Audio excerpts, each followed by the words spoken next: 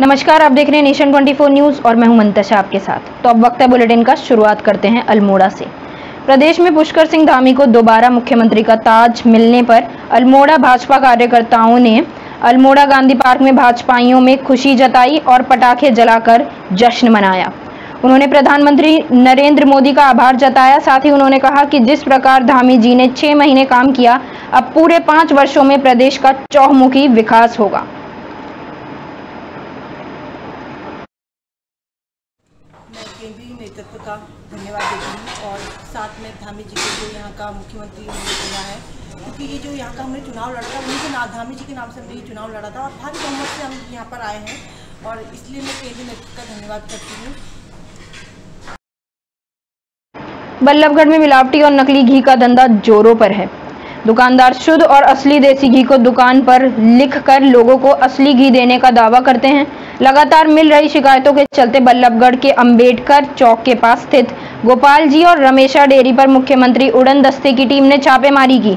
कई घंटे तक उड़न दस्ते के अधिकारी यहाँ पर बन रहे घी की जाँच करते रहे और बाद में उन्होंने मौके पर जीएसटी विभाग तथा दमकल विभाग के अधिकारियों को भी बुला लिया। फ़िलहाल अधिकारियों ने दुकान पर मौजूद घी की सैंपलिंग कर ली है और अब सैंपलों को जाँच के लिए प्रयोगशाला में भेजा जाएगा। दिखाई दे रहा नज़ारा बल्लभगढ़ के अंबेडकर चौक के पास रमेशा की दुकान का है, जहाँ पर आज मुख्यमंत्री उड़न तस्करी टीम छापा मारने पहुँची थी।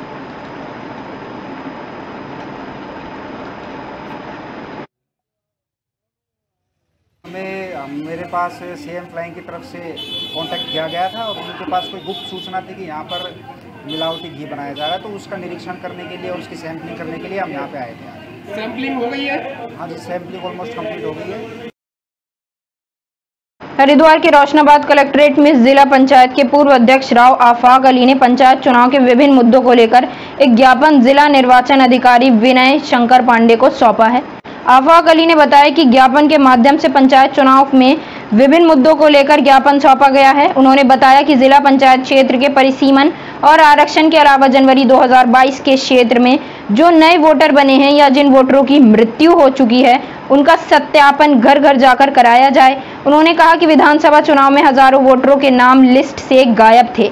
वह नाम क्यों गायब थे, इसकी जाँच की जानी चाहिए, जिससे भविष्य में उन पर जवाबदेही तय कर सख्त कार्रवाई की जा सके, क्योंकि लालच व राजनीतिक दबाव में मतदाताओं को उनके अधिकारों से वंचित रखा जाता है। उन्होंने बताया कि ज्ञापन के माध्यम से 28 मार्च से 20 अप्रैल तक कक्षा 10वीं से 12वीं की बोर्ड की परीक्षाएँ हैं। इस बीच कोई चुनावी गतिविधियाँ ना की जाएँ। साथ ही उन्होंने बताया कि ज्ञापन के माध्यम से ये भी मांग की गई है कि पंचायत चुनाव दो चरणों में आसान तरीकों से कराए जाने चाहिए।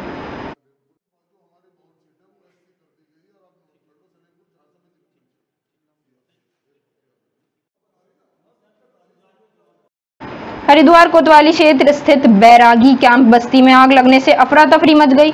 झुग्गी झोपड़ियों में लगी आग देखते ही देखते पूरे इलाके में फैल गई। सूचना मिलते ही फायर ब्रिगेड की टीम मौके पर पहुँची और छह गाड़ियों की मदद से घंटों की मशक्कत के बाद आग पर काबू पाया गया। जब तक आग पर काबू पाया गया, तब तक कई झुग्गी झोपड़ियाँ जलकर खाक हो गईं। स्थिति को देखते हुए पुलिस प्रशासन और जिला प्रशासन के अधिकारी भी मौके पर पहुँचे। हरिद्वार के सीएफओ नरेंद्र सिंह कुंवर ने बताया कि गैस सिलेंडर में आग लगने के कारण पूरी बस्ती में आग फैली है। वक्त रहते हुए आग पर काबू पा लिया गया है।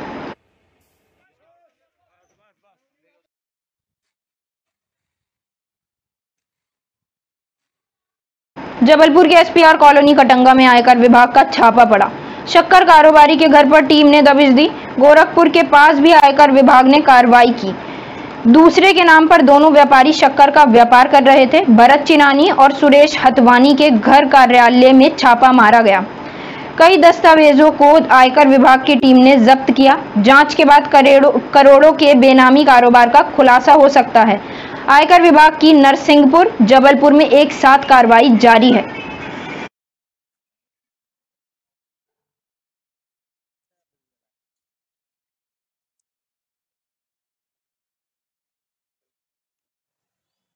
फ़िलहाल के लिए इतना ही। देश भर की तमाम छोटी बड़ी खबरों के लिए देखते रहिए सिर्फ़ नेशन 24 न्यूज़। नमस्कार।